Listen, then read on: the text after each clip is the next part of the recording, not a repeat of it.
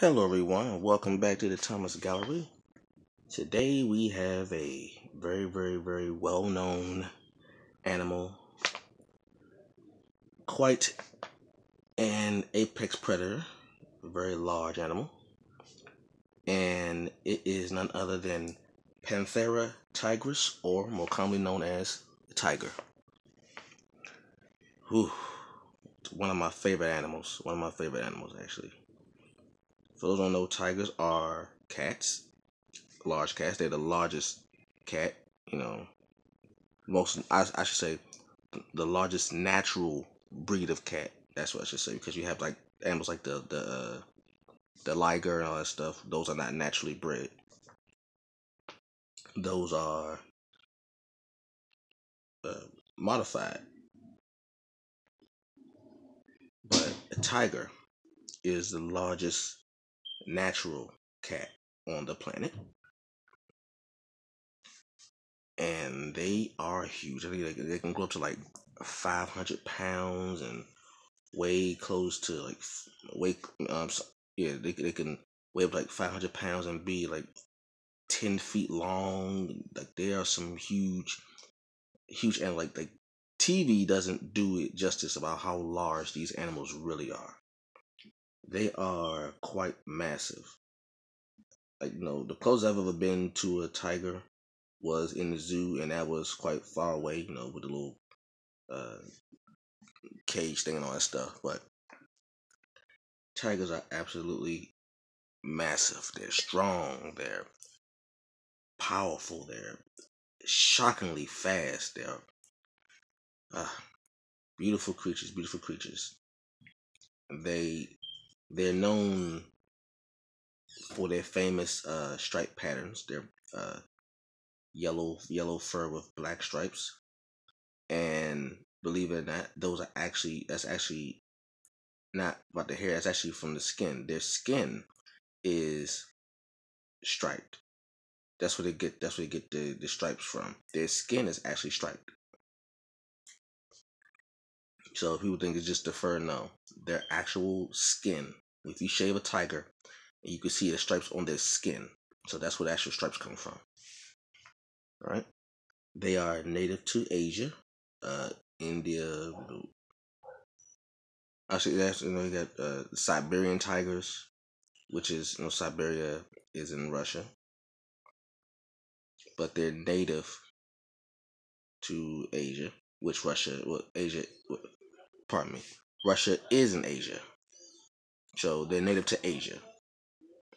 You can find them in places like you know um, Indonesia, um, Thailand, Siberia, Russia. You know,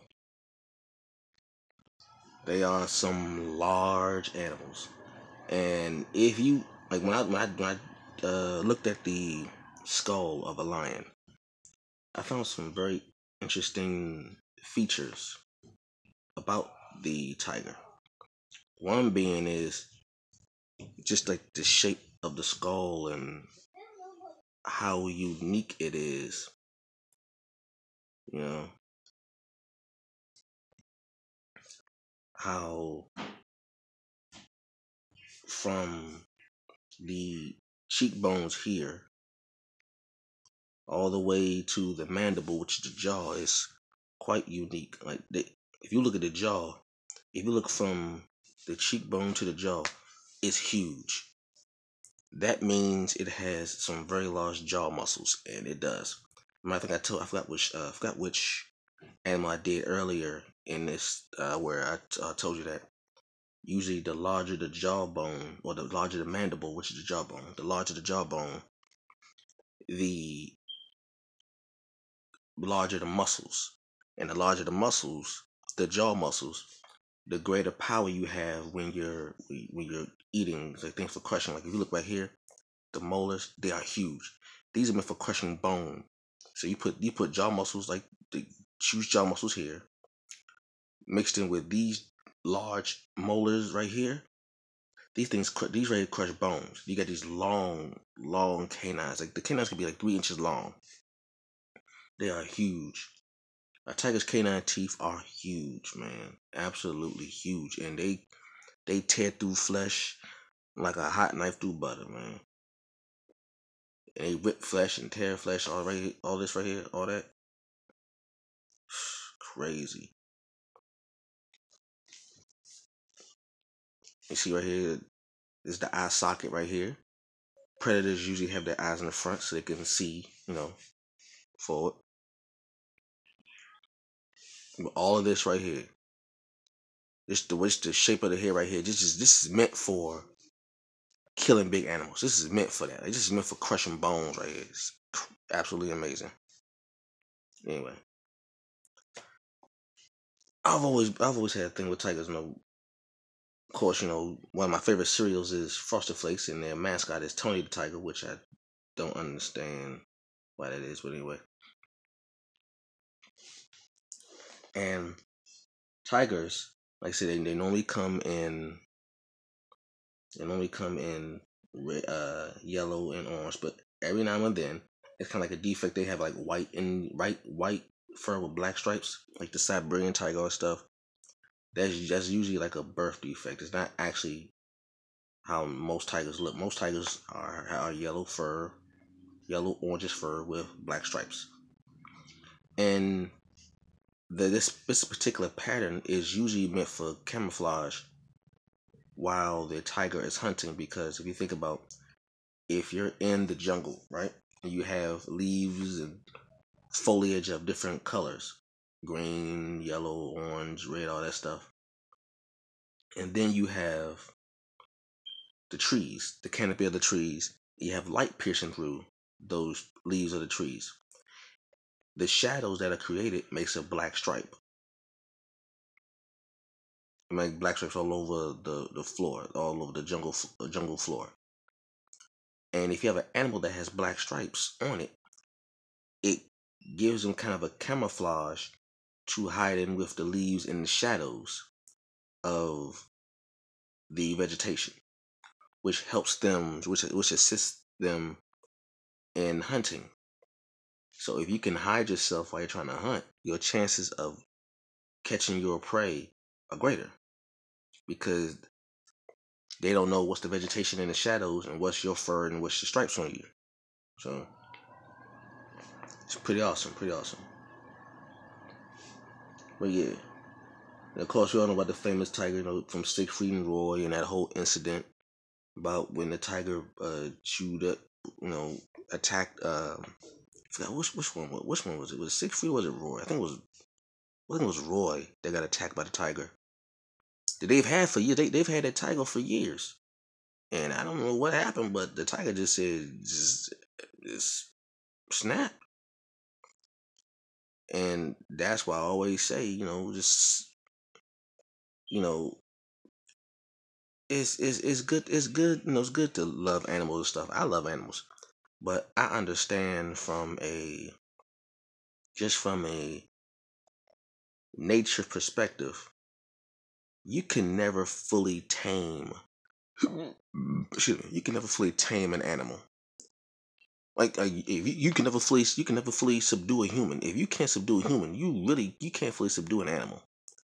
No matter how much you train that animal, how much that animal, you know, loves you and treats you properly, it is still an animal that has instincts, base instincts, like humans do. No matter how much you try to train in a human being to do certain things, there's always an aspect of that human that still rebels, that re- that that quote unquote wild side that you can you can never fully tame out of a human. So if you cannot fully tame a human, you cannot fully tame an animal that is larger than you, stronger than you, faster than you, more powerful than you, and can kill and eat you. I mean, if you think about that, a tiger can kill and eat a human easily. Easily. So it's you know, it's it's I ain't gonna tell you what I thought when I when I first when I first uh heard about that story. I mean, it was it was bad, but I was like, you know, when you're dealing with animals, it's always a chance. It's always a chance that something can go left. Always a chance.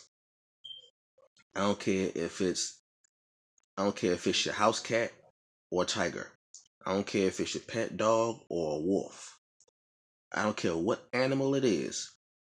There's always a chance that things can go left when you're dealing with nature.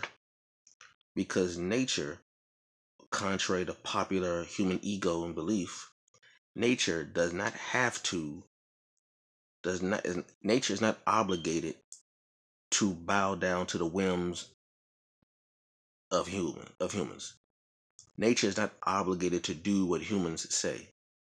Nature was here before humans. Nature will be here after humans. Nature has, has no obligation to do whatever humans say, despite what people may believe. And no, nature don't give a crap about human life.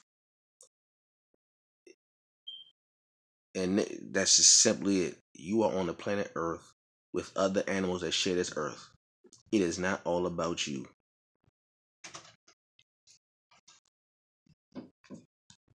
So, you know, like I always say, be respectful of nature. When it comes to nature, be respectful. Know where you are. Know what you're dealing with. You're dealing with an animal that is 500 pounds that can leap.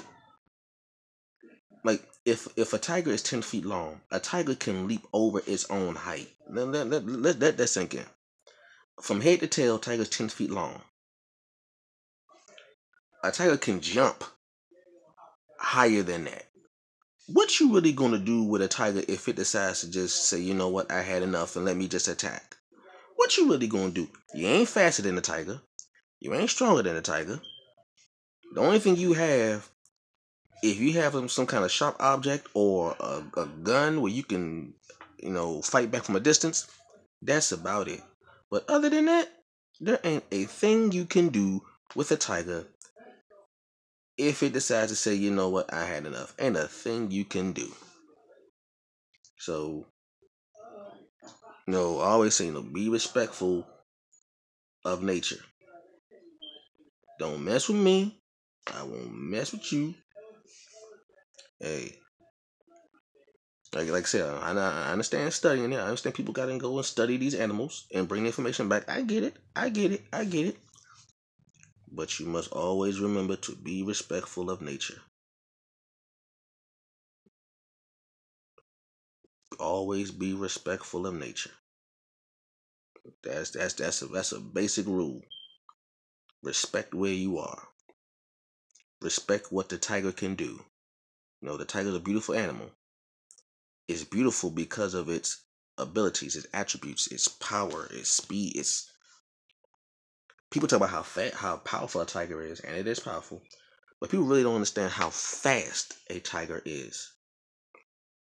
Like just because in order to build that kind of power, you need that kind of speed and quickness to move and, and attack with such force. Because force equals mass times acceleration, and speed is distance over time.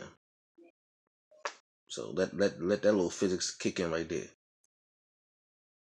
You know, and like I said, with these with these teeth with teeth like this, you see these teeth right here. You see this? You see these teeth, man? These teeth are meant to go through. And when they get a hold of you with these jaw muscles, this these teeth and these jaw muscles, you might just go ahead and just, just, just kiss the baby. Whatever, whatever, no, just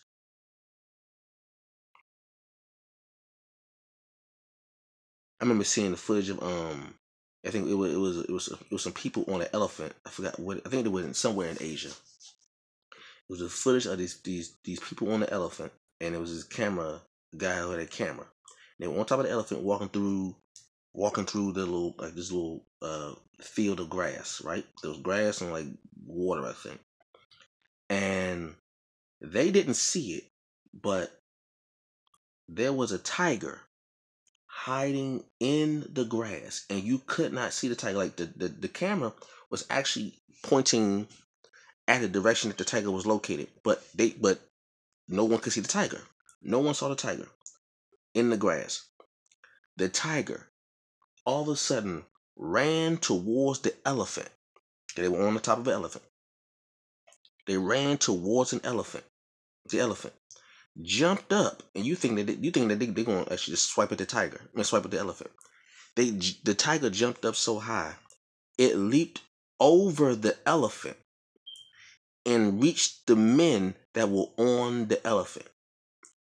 Now, for those who don't understand what that is, an elephant is not only the largest mammal on the planet, it is also the second tallest animal on a giraffe is the tallest animal. A giraffe is the tallest animal on the, on the planet.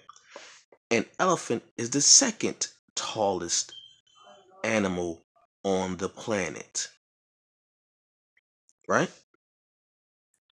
And and they can be about 11 feet tall. So an elephant at the shoulder can can be 11 feet tall. The tiger jumped up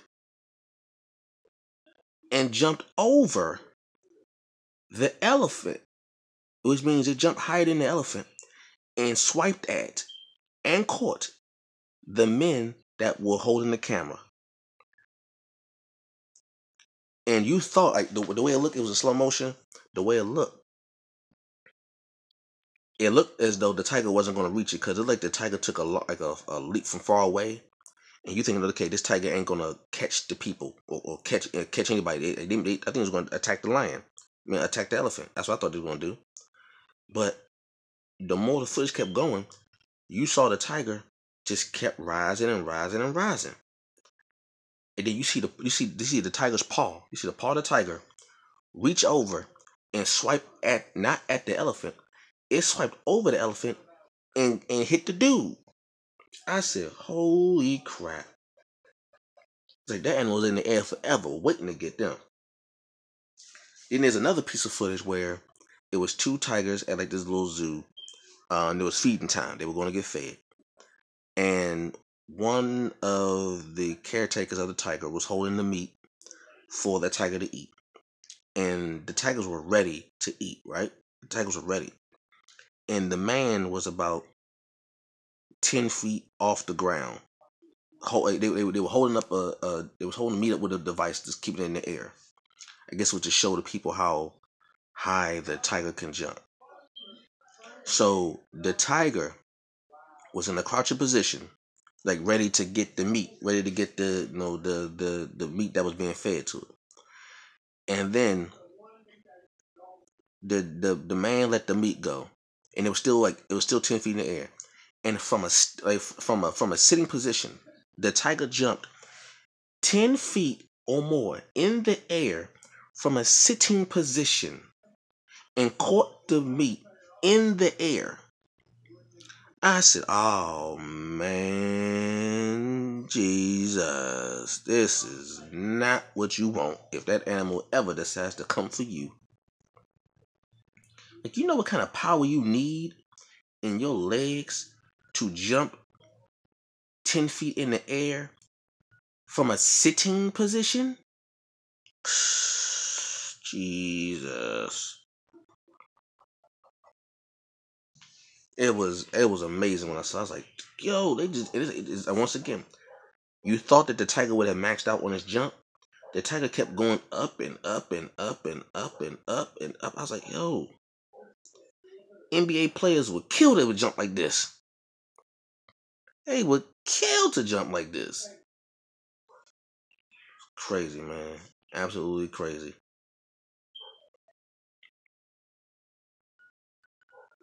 I was I was highly impressed and I, I gained even more respect for a tiger. Mm-mm. I mean, tigers are so powerful. There's a they have martial arts styles dedicated to the tiger. If you look at Chinese martial arts, they have they have martial arts styles dedicated to the tiger. That tells you Like this animal is revered, revered in many cultures. And you look at you look at a tiger, you can tell why. And they love to swim too. Tigers love to swim. You know the whole thing about cats not loving water. Tigers love to swim. Which is you you don't see you don't see many cats like that you know who love to swim, but tigers love to swim. Whew.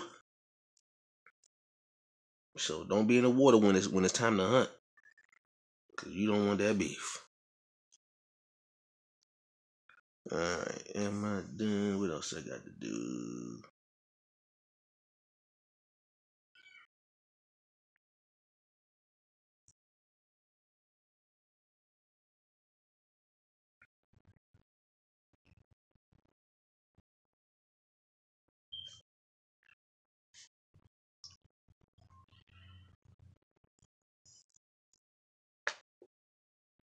All right. So that is it. Done. Almost, almost at the home stretch. Almost done. Three more days, y'all. Anyway, thank you very much for watching this video. Leave a comment down below. Like, comment, subscribe, and share. And I will catch you all later. Peace.